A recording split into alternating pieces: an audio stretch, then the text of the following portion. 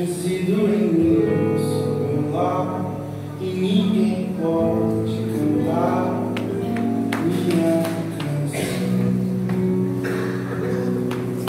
Um abrigo, um amigo, um acorde suspenso invertido, o silêncio.